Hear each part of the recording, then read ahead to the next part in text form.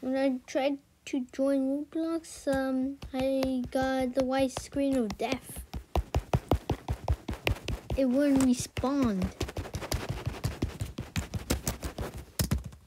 Even when I touch the keyboard, trying to tap, it still does nothing. It's just dead.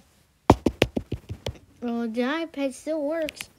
I can exit the screen, but yeah, it's, it's the white screen of death in Roblox. What?